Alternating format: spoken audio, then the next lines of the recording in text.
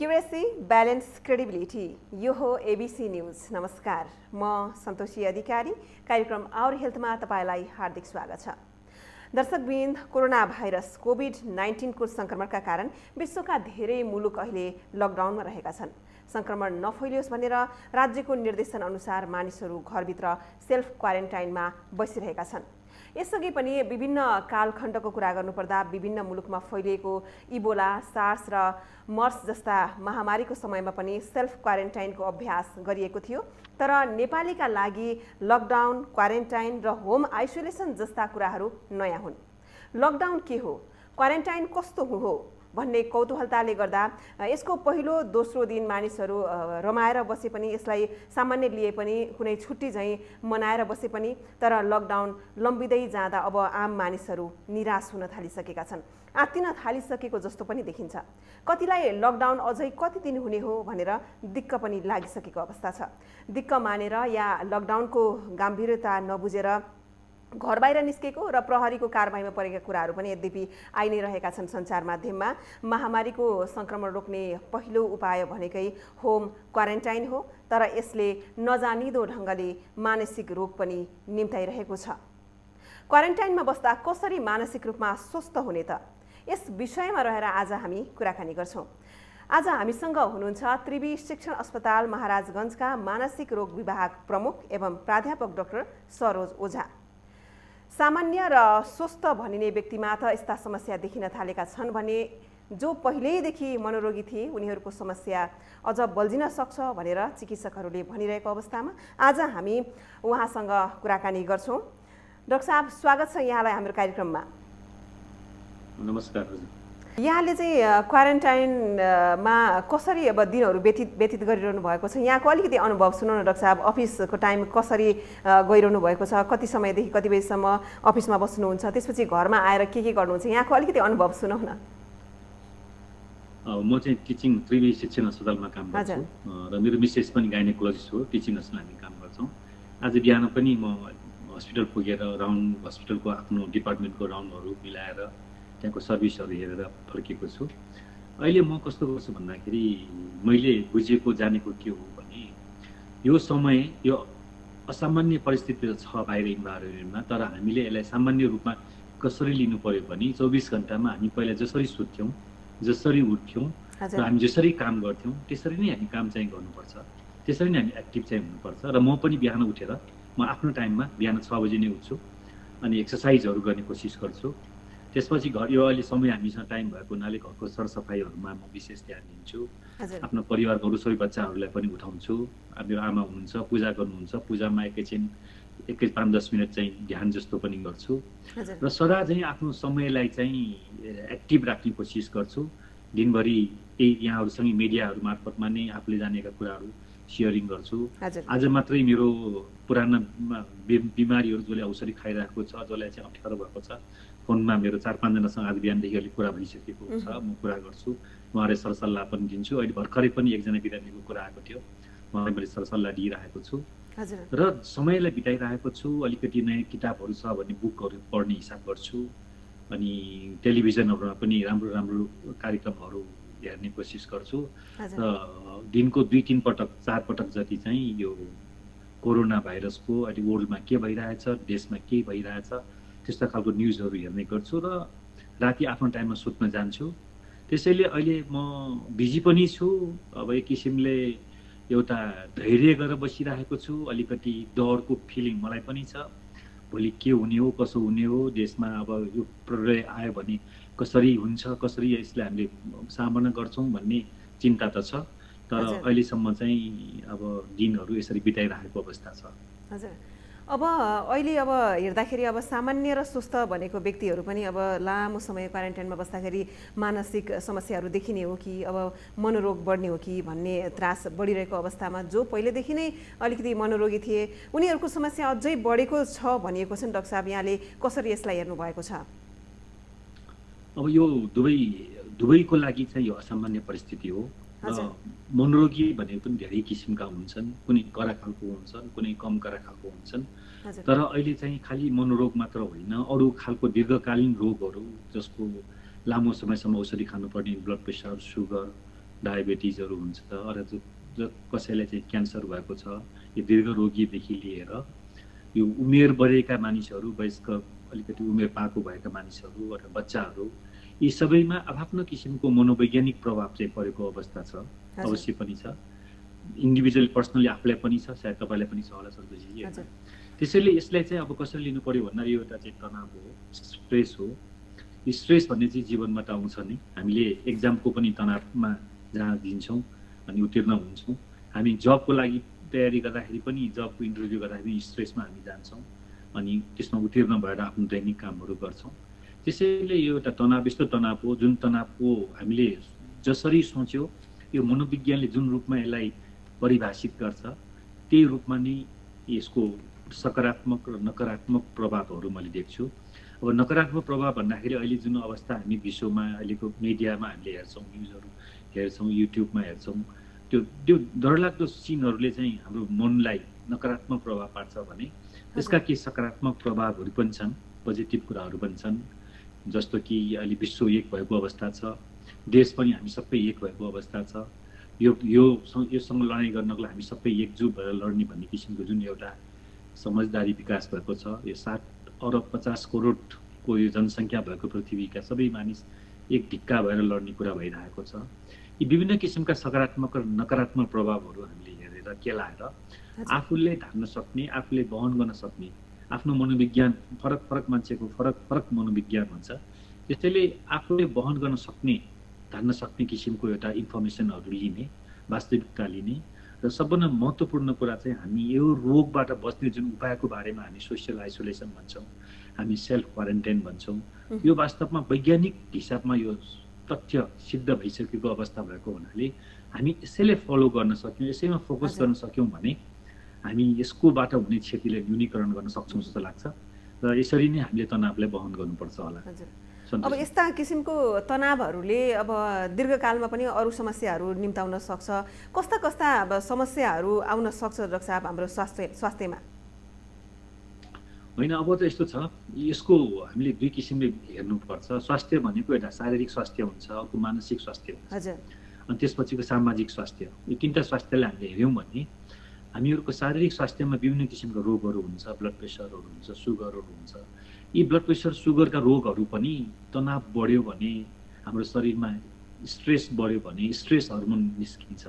त्यो स्ट्रेस हर्मोनले यिनीहरूलाई झन् बढाउँछ त्यसरी शारीरिक शारीरिक बिमारीहरू दीर्घकालीन बिमारीहरूमा पनि यसको तनावको चाहिँ नेगेटिभ भयो भने यसले नकारात्मक प्रभाव पर्न सक्ने एउटा पक्ष भयो शारीरिक स्वास्थ्यको हिसाबमा। मानसिक स्वास्थ्यको हिसाबमा हामीले हेऱ्यौँ भने मानसिक स्वास्थ्यमा अहिले मैले देखेको सबैलाई भएको एक किसिमको एन्जाइटी हो एक किसिमको डर हो एक किसिमको त्रास हो एक किसिमको भय हो। यो एन्जाइटी भनेको जस्तो ब्लड प्रेसर हामी सबैको हुन्छ तर ब्लड प्रेसर हाई भयो भने औषधि गर्नुपर्छ भने जस्तै यो एन्जाइटी धेरै हाई भयो भने एन्जाइटी डिसअर्डर भयो भने मात्र हामी त्यसको उपचारको कुरा गर्छौँ। होइन भने यो एन्जाइटीलाई एन्जाइटीको लेभलमा राखेर शरीरमा स्ट्रेस हर्मोन अघि मैले भएको स्ट्रेस हर्मोन बहन नहुने किसिम ननिस्किने किसिमले हामीले यसलाई बहन गर्न सक्यौँ भने यो मनोसामाजिक समस्याहरूको कुराहरू गर्छौँ जुन यहाँले अघि भने जस्तो दीर्घकालीन कुराहरूको भन्नुभयो। दीर्घकालीन कुरा भन्दा हामी इमिडिएटली अहिले हुनसक्ने कुरामा हामी ध्यान दिउँ कि हामी यो एन्जाइटीलाई बहन गरौँ यसलाई वहन गर्ने धारण गर्ने शक्ति आफूले विकास गर्ने कोसिस गरौँ र त्यो एन्जाइटी मात्र भयो भने केही पनि रोग ल्याउनु निम्त्याउँदैन। तर यही चिज बढ्दै गयो भने के हुनसक्छ भन्दाखेरि कसैलाई भोलि गएर एन्जाइटी हुनसक्छ डिसअर्डर हुनसक्छ कसैलाई डिप्रेसन हुनसक्छ र आजभोलि मैले अर्को एउटा तथ्य के हेरेर आएको छु भन्दाखेरि डब्लुएचओले पनि भनिरहेको छ यो तनावको अवस्थामा मान्छेहरूले अलिकति हानिकारक पदार्थहरू स्पेसली सेवन गर्ने गर्छ रक्सी चुरोट यो सुर्ती खैनी भन्छ। यसले पनि भोलि गएर हानिकारक रूपमा यो बानी पर्ने र यसले गर्दा नकारात्मक प्रभाव पर्ने अवस्था हुनसक्छ त्यो पनि भोलिको समस्या हुनसक्छ अनि सामाजिक स्वास्थ्यको कुरा गर्दाखेरि अब यसले गर्दाखेरि अहिले देखिरहेछौँ विश्वमा स्पेसली अमेरिका युरोपमा यो मानिसहरूको जब जाने कुरा आर्थिक सङ्कटको कुराहरू भइरहेको छ। कतिजनाले आफ्नो परिवार गुमाएको अवस्था छ पारिवारिक हाम्रो जुन दारुण भनौँ दारुणता भनौँ जुन किसिमको तनावहरू छ कतिजनाले आफ्नो धेरै आफ्नो स्वास्थ्य नै कमजोर बनाएको हुन्छ। यो सामाजिक स्वास्थ्यको हिसाबले आर्थिक यो मानसिक स्वास्थ्यको हिसाबले र शारीरिक तिनटै स्वास्थ्यमा यसले चाहिँ कुनै न कुनै असर पर्ने भएको हुनाले हामी अहिले अहिलेको अवस्था हाम्रो देश भनेको जुन अहिले हामी जुन अवस्थामा हामी सेल्फ क्वारेन्टाइनमा बसिरहेका छौँ। हामी यसलाई चाहिँ साँच्चै नै एउटा सेल्फ डिसिप्लिन भन्छौँ। एउटा अनुशासनमा बसेर हामीले यसलाई पालन गऱ्यौँ भने यो रोग कसरी सर्छ भन्ने कुरा त वैज्ञानिकहरूले पत्ता लगाइसकेको अवस्था छ। कमसेकम यो रोग कसरी सर्छ? एक व्यक्तिबाट अर्को व्यक्तिमा सर्ने उपाय भनेको कि? यो हाछ्यौँ गरेर खोक्दाखेरि निस्किने भाइरसहरूको संपर्कमा यो तिन फिटभन्दा नजिक भयो भने त्यसबाट हुनसक्छ भने यो यो जुन किसिमको एउटा सोसियल डिस्टेन्स भन्छौँ नि आइसोलेसन भन्छौँ सोसियल डिस्टेन्स कायम गरेर पनि यसले बचाउन सक्ने भन्ने जुन किसिमको तथ्यहरू हामीसँग आएको छ रिपिटेडली हातहरू साबुन पानीले धुने भन्ने कुरा आइरहेको छ यो तथ्यहरूमा हामीले रियल्ली वास्तविक त बुझौँ के?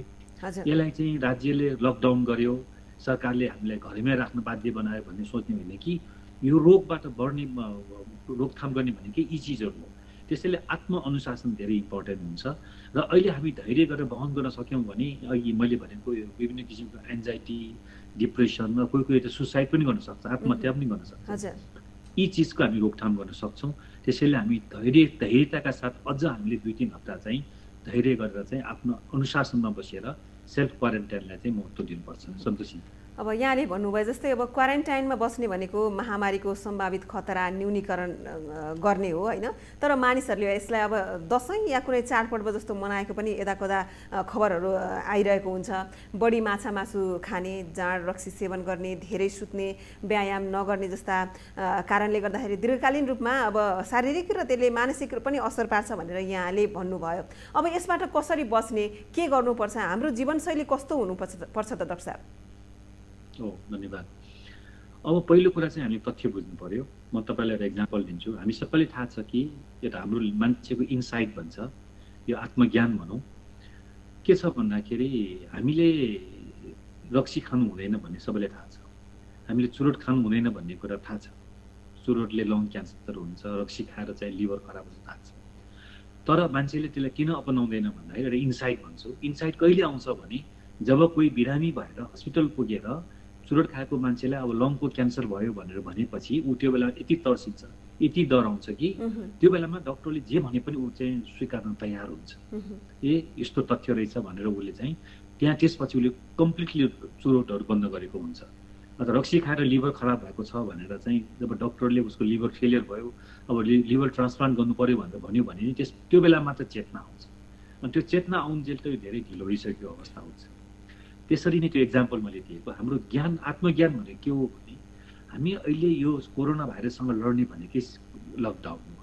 यो भनेकै सेल्फ क्वारेन्टाइन हो। यो नै हाम्रो लागि मैले मेरो भाषामा यसलाई भन्नु पऱ्यो भने यो नै रोकथामको एउटा भ्याक्सिन हो। यो तथ्य हामीले कहिले बुझौँ भने रोग लाग्नुभन्दा अगाडि बुझ्नु पऱ्यो रोग लागिसकेपछि त तपाईँ आइसोलेसनमा बस्नुहुन्छ। त्यसपछि त्यो रोग लागिसकेपछि यसले जुन किसिमको अब कति कस कहीँ थ्री पर्सेन्ट छ कहीँ फाइभ पर्सेन्ट छ यसले चाहिँ जुन कम्प्लिकेसन निमोनिया बनाएर लङ्समा गएर हाम्रो फोक्सोमा गएर निमोनिया भइसकेपछिको हस्पिटलाइज गर्नु पऱ्यो त्यसपछि आइसियुमा भर्ना गरेर अक्सिजन दिनु पऱ्यो होइन त्यो अवस्था आउनु भनेको त धेरै दुर्भाग्य हुन्छ। भनेपछि त्यो दुर्भाग्यताबाट हामीले बच्ने भनेको अहिले के भन्दाखेरि हामी क्वारेन्टाइनको महत्त्व बुझ्नु पऱ्यो कि। हामी क्वारेन्टाइन भनेको मेरो मेरो हिसाबमा मैले अहिले भन्नु पऱ्यो यो आफूले आफूलाई प्रोटेक्सन गर्ने हो। यो प्रोटेक्सन भन्ने चिज भाइ भ्याक्सिनले हामीले प्रोटेक्सन दिन्छ भने यो क्वारेन्टाइनले हामीलाई कमसेकम अहिलेलाई चाहिँ प्रोटेक्सन दिन्छ। हामीले रोग आउनुबाट बचाउँछ। रोग आउनु बचा बच्यो भने म बचेँ भने मेरो परिवार बचेँ भने यो समाजलाई मैले कन्ट्रिब्युट योगदान गर्न सक्छु। यो हामी सबैले बुझ्नु पऱ्यो कि। त्यसैले अहिले हाम्रो नेपाली दाजुभाइ दिदीबहिनीहरू विदेशमा छन् बोर्डरमा छन् कति ठाउँमा छन् दुःख पाएको छ आफ्नो ठाउँमा छ। तर अब यसलाई राज्यले पनि यसलाई हेर्नु पऱ्यो कुन ठाउँमा राखेर क्वारेन्टाइन गर्ने र क्वारेन्टाइनमा पनि एउटा व्यवस्थित रूपमा गर्न सक्नु पऱ्यो तर योमा बस्ने भनेको चाहिँ आफूले आफूलाई चाहिँ के गर्ने भन्दाखेरि चाहिँ हेरचाह प्रोटेक्सनको लागि हो भन्ने बुझ्नु पऱ्यो र दोस्रो कुरा यहाँ लागि भने जस्तो चाहिँ अब यो चाडपर्व हो रक्सी सेवन गर्ने चुरुट सेवन गर्ने अथवा मिठो मिठो धेरै खानेकुरा खाने गर्नुभयो भने म आफै पनि मैले के एकदमै पर्टिकुलरली म कसरी आफूलाई कन्ट्रोल गर्ने कोसिस गर्छु भने जहिले पनि म अलिक खानेकुराहरू चाहिँ सादा खानेकुरा सागहरू झन् सागहरू आलु प्याजहरू सब सिम्पल कुरा खाने पानी बढी पिउने किन अहिले बिरामी म अहिले काठमाडौँको टिचिङ हस्पिटल नजिकै छु त्यहाँको चिकित्सक हुँ। मलाई अहिले बिरामी भयो भने म टिचिङ हस्पिटलमा गएर सेवा लिनलाई मलाई गाह्रो छ। भने नेपाली जनता नेपाली दाजुभाइ दिदीबहिनी विदेशमा विभिन्न ठाउँमा बसेको अवस्थामा अहिले चाहिँ खानेकुरा नपच्ने खानेकुरा खाने ब्लड प्रेसर सुगर हाई हुने खानेकुरा खाने खानेकुरा नपच्ने कुरा खाने यो बेला होइन। मैले अघि भने जस्तो चाहिँ हामीले आफूलाई प्रोटेक्सन गर्ने हो भने अहिले दुई हप्ता तिन हप्ता हुनसक्छ एक महिना पनि हुनसक्छ। कमसे कम यो महामारीको प्रकोप यो महामारीको प्रकोपलाई हामीले धान्न सक्यौँ। आफूलाई बचायो आफ्नो परिवारलाई बचायो र समाजलाई बचायो। बचाउनुपर्छ। किनभने हामीसँग विदेशमा जस्तो इटलीमा जस्तो स्पेनमा जस्तो अमेरिकामा जस्तो चाहिँ स्रोत साधन भएको देश होइन। बिरामी भएपछि धेरै कति मान्छेलाई कम्प्लिकेसन भयो भने गाह्रो हुन्छ। त्यसैले हामीले अहिले सेल्फ क्वारेन्टाइन बसेर अहिले हाम्रो साथीहरू कोही कोही जो मान्छे अहिले सङ्क्रमित थिए निको भएको छ उहाँहरूको कथा सुन्नुहोस् न उहाँहरूले भन्नुहुन्छ नि। उहाँहरू त घरमा बस्नुभयो अथवा केही दिन आइसोलेसनमा बस्नुभयो त्यसपछि निको भएर राम्रो भएर चाहिँ गुजारिरहेको अवस्था छ नर्मल जीवन गुजारेको अवस्था छ। यहाँ त उल्टो के छ भने कोही मान्छे पोजिटिभ आयो भने हामी एउटा हेर्ने दृष्टिकोण शङ्का। त्यसमाथि उसलाई सोसियल सामाजिक रूपमा गर्ने व्यवहार। फरक छ। त्यसैले अहिलेको समय भनेको आफ्नो जीवनलाई चाहिने स्वास्थ्यलाई चाहिने सन्तुलित खानेकुराहरू खान कोसिस गर्नु अनि जीवनलाई एक्टिभ बनाउनुहोस् लाइफलाई एक्टिभ बनाउनुहोस् बिजी राख्नुहोस्। एक्सर्साइज गर्नुहोस् योगा गर्नुहोस् मेडिटेसन गर्नुहोस्। अनि तपाईँ खालि त्यो न्युज मात्र सुनेर चाहिँ यतिजना मान्छे मर्छ यतिजना मान्छेले मर्ने रहेछ भन्ने सोध्ने होइन कि? दुई तिन पटक यसको अपडेट लिएर म्युजिकहरू सुनेर तपाईँ रिल्याक्स हुन्छ कि? अघि भने नि स्ट्रेस भयो भने स्ट्रेस हर्मोन निस्किन्छ यसले शारीरिक मानसिक दुवै स्वास्थ्यलाई असर पार्छ। त्यसैले म्युजिक सुनेर हुन्छ कमेडी कार्यक्रमहरू सुनेर हुन्छ नेपालका हाम्रा पुराना हाम्रा पुराना कार्यक्रमहरू छन्। मदन कृष्ण हरिवंशदेखि सन्तोष पन्त मनोज गजुरेल धेरै छन्। गीत सुनेर हुन्छ। आफूले बिजी राख्नुहोस् दिउँसो नसुत्नुहोस् सन्तुलित डाइट खानेकुरा खानुहोस् र रक्सी चुरोट खानेकुरा खा नखानुहोस्। आफूलाई दुई तिन हप्ता चार हप्ता यसलाई चाहिँ तपाईँ धैर्य गरेर चाहिँ यो रोगलाई हामीले आफ्नो शरीरमा आउन दिएनौँ भाइरसलाई र आफ्नो परिवारमा आउन दिएनौँ भने हामी समाजमा स्वस्थ भएर बाँच्यो भने त्यसपछि बाँचेपछि त गर्ने चिज धेरै होला मैले एउटा प्रश्न यहाँलाई जोड्न खोजेँ। अब कोही व्यक्ति विदेशबाट आउनु भएको छ अब उहाँ चिकित्सकको सम्पर्कमा गइसक्नु भएको अवस्था छ भनेदेखि उहाँ आफै म सेल्फ क्वारेन्टाइनमा बस्छु भनेर उहाँ क्वारेन्टाइनमै बसिरहनु भएको अवस्था पनि हुन्छ। तर त्यसमा पनि अब समाजले हेर्ने दृष्टिकोण अलिकति त्यसमा उहाँलाई हेर्ने दृष्टिकोण चाहिँ अलिकति फरक देखियो। विदेशबाट आएको रे ल कोरोना भाइरस सर्ने हो कि हामीलाई पनि भनेर गाउँ नै त्रसित एकजना मान्छे गाउँमा आएर बस्दाखेरि गाउँ नै त्रसित भएर बस्नुपर्ने अवस्था सिर्जना भएको छ। र त्यसले गर्दाखेरि गाउँको समाजको कुराले गर्दाखेरि त्यो व्यक्ति आफै पनि मानसिक रूपमा असन्तुलित हुन जान्छ। यसलाई कसरी हटाउने? अब मानसिक समस्या त्यो व्यक्तिलाई अब भइसके पछाडि शारीरिक रूपले पनि अब विभिन्न समस्याहरू उहाँलाई आउन सक्ने हुन्छ होइन? त्यसतर्फ अब कसरी यसलाई चाहिँ हटाउन सकिन्छ? कसरी यो यो किसिमको त्रासलाई मेटाउ मेटाउन सकिन्छ डाक्टर साहब? अब हामीले पब्लिक अवेरनेस भन्छौँ जनचेतना। हामी कहाँ कति चेतना छ? कोरोना भाइरसको बारेमा हामीमा भएका चेतना के छ? खालि हामी युट्युबमा हेरेर कहीँ न्युज सुनेर चाहिँ त्यो नेगेटिभ न्युज मात्र होइन हेर्नुभयो भने वास्तवमा तथ्याङ्कलाई हेऱ्यो भने असी प्रतिशत मानिसले निको भएको छ। र जुन कम्प्लिकेसन डेभलप भएर मर्ने मान्छेहरू पनि तिन पर्सेन्ट चार पर्सेन्ट पाँच पर्सेन्ट मात्रै छ। उही पनि उमेर बढेका मान्छेहरू। त्यसमा पनि स्टडी अध्ययन तथ्याङ्कमा हेऱ्यो भने चाहिँ कति मान्छे पहिलेदेखि रक्सी खाने दीर्घ रोगीहरू यस्तो खालको पनि छ। होइन तर समाजमा यो बारेमा चेतनाको कुरा आयो मैले जनचेतनाको बारेमा के छ भन्दाखेरि हामीले जे बुझ्छौँ त्यही नै गर्छौँ नि। त्यसले समाजको पनि दोष नहुन सक्छ।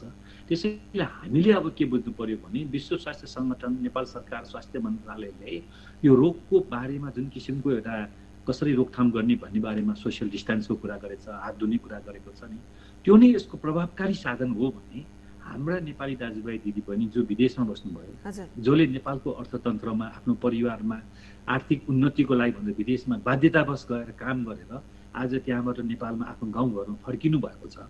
हाम्रा यो दाजुभाइ दिदीबहिनी जसले हाम्रो देशको आर्थिक अवस्थालाई मजबुत बनाउनु परिवारमा आफ्नो बच्चाहरूले राम्रो ठाउँमा पढाउँ राम्रोसँग मिठो खुवाउने कुरा खुवाउँ राम्रो ठाउँमा पढाउँ र योग्य बनाउँ भन्नको लागि गएका हाम्रा नेपाली दाजुभाइ दिदीबहिनीहरू जब नेपालमा भित्रिन्छन् हामीले हेर्ने दृष्टिकोणमा त्यस्तो कहिले पनि किन आफ्नै मान्छे भएको भए हामी के गर्छौँ त्यसैले हामीलाई थाहा छ यसको रोकथामको उपाय।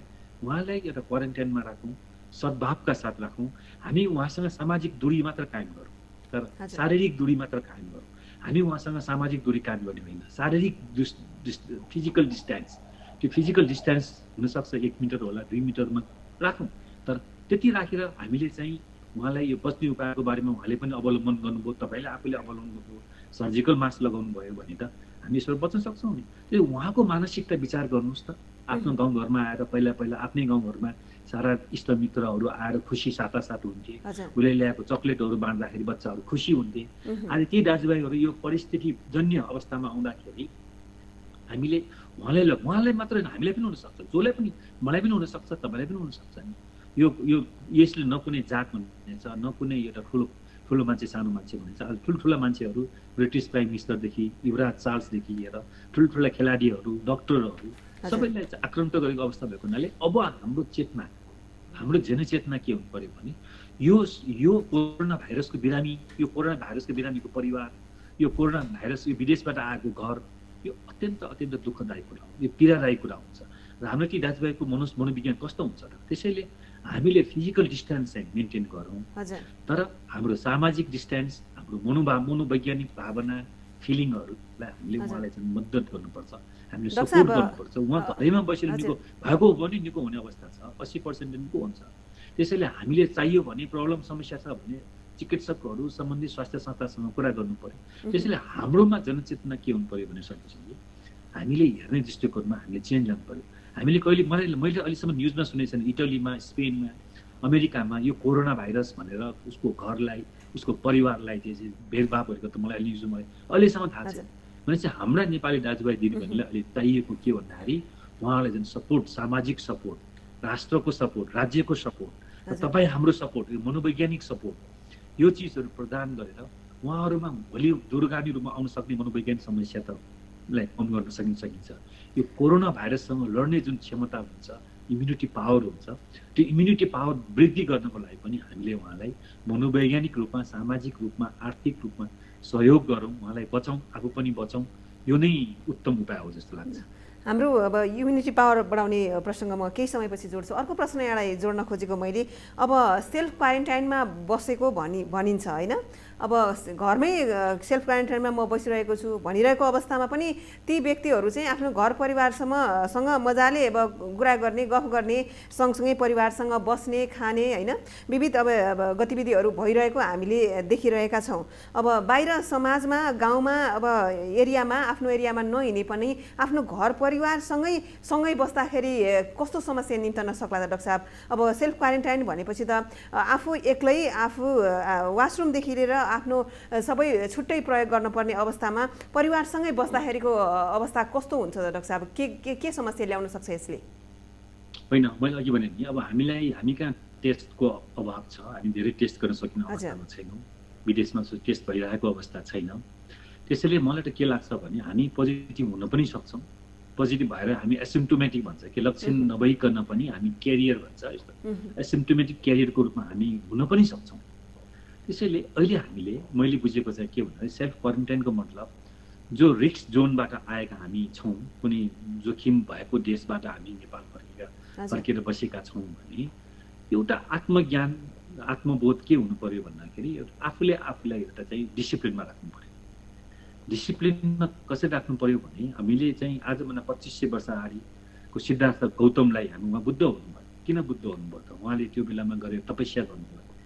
उहाँले आफ्नो राजपात छोडेर जानुभयो र उहाँ आज हामी उसलाई भगवान्को रूपमा पूजा गर्छौँ हामी आज यो अवस्थामा यो महामारीको प्रलयको टाइममा जो मान्छे रिक्स जोनमा छ जोखिममा छ उहाँ आफूले आफूलाई सेल्फ डिसिप्लिन राख्नु एकदम अत्यन्त जरुरी छ। केही गरी उहाँ केरियर हुनुभएको रहेछ उहाँमा त्यो भाइरस बसेको रहेछ हुनसक्छ। उहाँको इम्युनिटी पावरले त्यो भाइरसलाई जितेर लक्ष्य नआएको होला। तर घरमा त आमा बुवा हुनसक्छ बच्चाहरू हुनसक्छ जो कोही हुनसक्छ।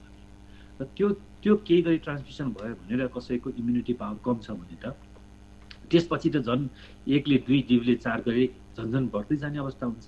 त्यसैले अहिले म विशेष रिक्वेस्ट चाहिँ मेरो पनि बुझाइ छ के हो भन्दाखेरि हामीले डिसिप्लिनको फलो गर्नु पर्यो यो दुई हप्ता किन भनेको छ दुई हप्तासम्म लक्षण आउन सक्ने भएको हुनाले दुईदेखि तिन हप्तासम्म हामी चाहिँ यसलाई स्ट्रिक्टली यो आफ्नो लागि हो मेरो परिवारको लागि हो भनेर मैले अघि भने हामी कति मान्छेले चाहिँ ज्ञानको लागि कति मान्छेले चाहिँ तालिमको लागि आफ्नो गाउँ घर देश छोड्छौँ भने अहिले तिन हप्ता नेपाल फर्किसकेका छौँ भने सेल्फ क्वारेन्टाइन घरमा आफ्नो एउटा जुन एउटा नियममा बसेर अघि भनेछ नि एक मिटरको डिस्टेन्स फलो गरौँ।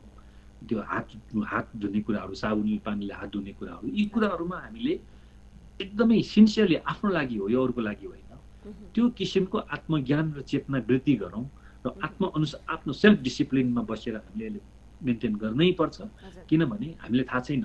हामी कहाँ टेस्ट धेरै कमी छ। अब यो पोजिटिभ मैले अघि भनेको पोजिटिभ भएर पनि क्यारियरको रूपमा सिम्टम नआइकन बस्न सक्छ। भिन्न भिन्नै मान्छेको भिन्न भिन्नै मनोविज्ञान हुन्छ। भिन्न भिन्नै परिस्थितिमा भिन्न भिन्नै रूपमा हामीले पाउनु गर्छौँ। त्यसैले म के भन्छु भन्दाखेरि हामीले यसलाई चाहिँ आफैले चेतना लिने र आफैले यसलाई डिसिप्लिन साथ अहिले प्रशस्त मात्र मिडियाहरूमा यसकोबाट बच्ने उपायको बारेमा कुरा आइसकेको छ। अनि त्यो बारेमा हामीहरूले चाहिँ स्ट्रिक्टली फलो गर्ने। यसलाई एकदम नियमित रूपमा गरौँ। बरु बिजी हुने कोसिस गर्नुहोस्। आफू एक्लै बसेर बिजी हुनुहोस्। म्युजिक सुन्नुहोस्। तर आफ्नो नजिकको मान्छे परिवारलाई नै यो सर सर्न गयो भने यसले झन् ठुलो नराम्रो प्रभाव पर्छ।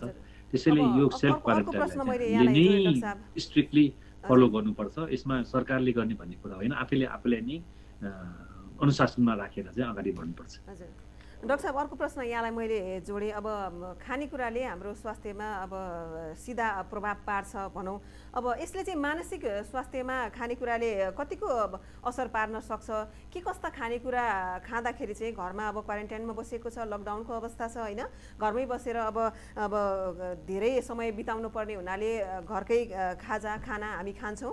त्यसले गर्दाखेरि अब के कस्ता खानेकुराले हामी मानसिक रूपमा चाहिँ स्वस्थ हुन सक्छौँ त? मानसिक स्वास्थ्यलाई के खानेकुराले प्रभाव पार्छ अथवा असर पार्न सक्छ? अवश्य पनि सक्छ नि। अब किनभने स्वास्थ्य भनेको एउटा समुचित रूपमा शारीरिक मानसिक र सामाजिक रूपमा स्वास्थ्य हो। त्यसमाथि आध्यात्मिक स्वास्थ्य छँदैछ।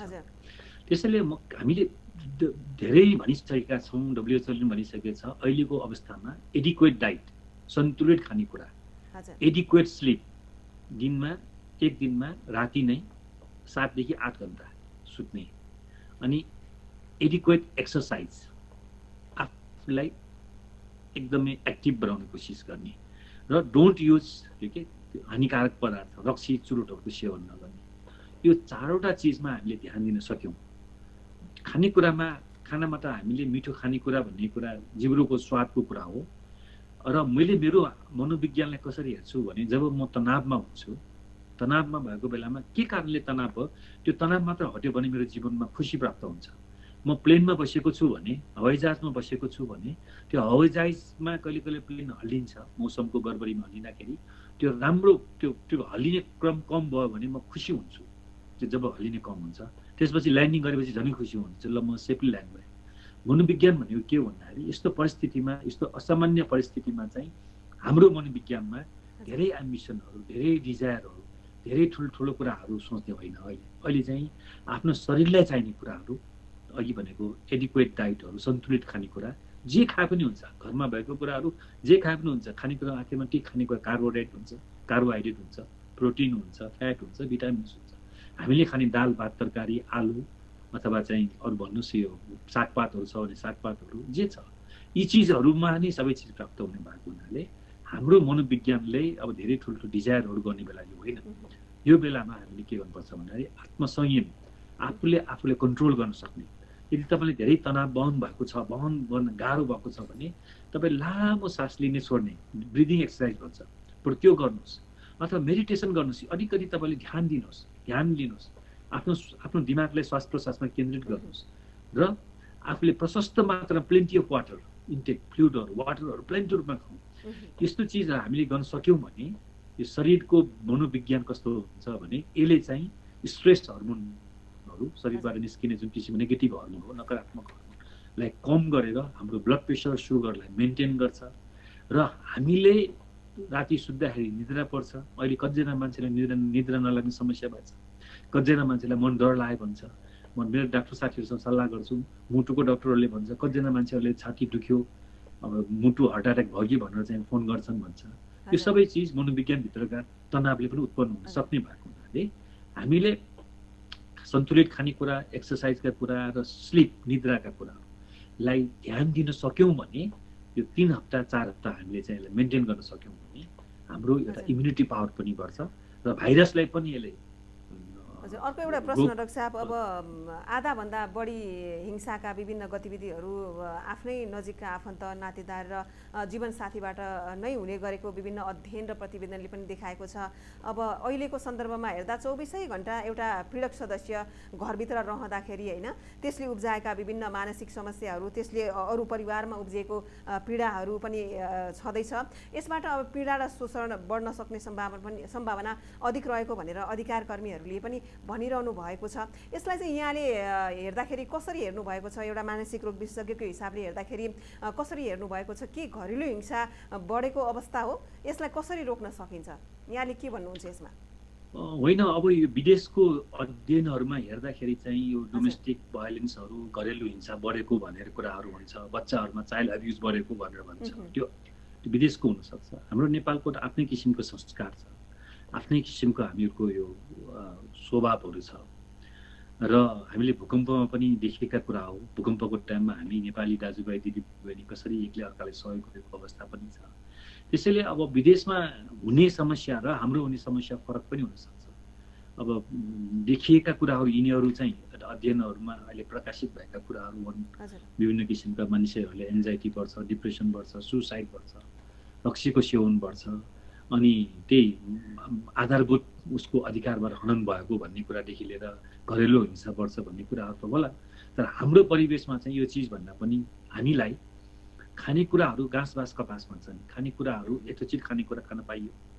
र बिरामी भयो भने स्वास्थ्य कर्मीहरूसँग चाहिँ सेवा प्राप्त गर्न सक्ने अवस्था आयो भने अहिले हामीले यिनै चिजमा हामीले ध्यान दिनुपर्छ।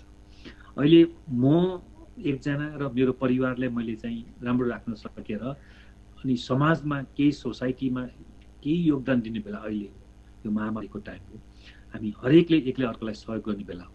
त्यसैले अब हामी धेरै ठुल्ठुलो यो यो यो किसिमको रिजल्ट आउन सक्छ यस्तो किसिमको हुन्छ भन्ने भन्दा पनि अहिले हाम्रो लडाइँ भनेको चाहिँ कोरोना भाइरससँगको यो इम्युनिटी पावर बढाउने लडाइँ हो। त्यसैले अहिले त्यसमा नै बढी फोकस गर्नुपर्छ। अरूभन्दा पनि। किनभने यस्तो अब यो बढ्ने अवस्थामा छ। हामीले इटलीको हेरौँ स्टोरी हेरौँ स्पेनको हेरौँ अमेरिकाको हेरौँ।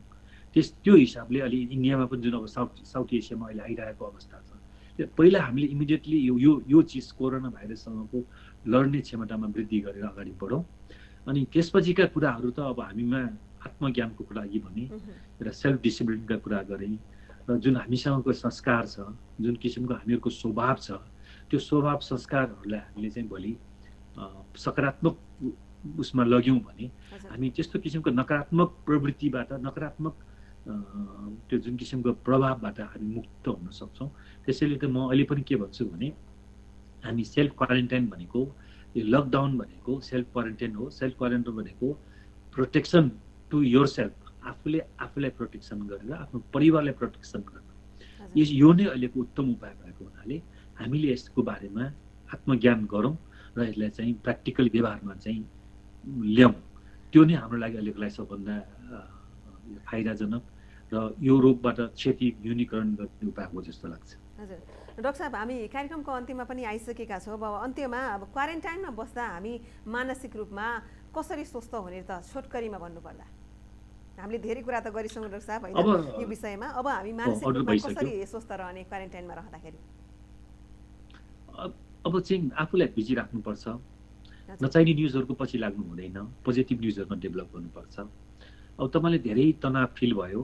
अब मन डरायो भए भयो निद्रा लागेन भने म कति मान्छेलाई ब्रिदिङ एक्सर्साइज भनेर भन्छु सल्लाह दिन्छु। ब्रिदिङ एक्सर्साइज भनेको तपाईँले आफ्नो पेट र हातमा आफ्नो पेट र छातीमाथि हात राखेर आँखा चिम्म गरेर लामो सास तान्ने एकैछिन दस जति काउन्ट गर्ने अनि छोड्ने। अनि फेरि लामो सास लिने दस सेकेन्ड जति होल्ड गर्ने छोड्ने। त्यो टाइममा आफ्नो मनोविज्ञानलाई आफ्नो माइन्डलाई आफ्नो श्वास प्रश्वासमा केन्द्रित पार्नुहोस्। हेर्नुहोस् तपाईँको तनाव कम भएर जान्छ। यसले यसले पनि भएन भने म त धेरैलाई भन्ने गर्छु। अब आफूलाई मनपर्ने चिजहरू किताबहरू पढे पनि हुन्छ यही भयो समय।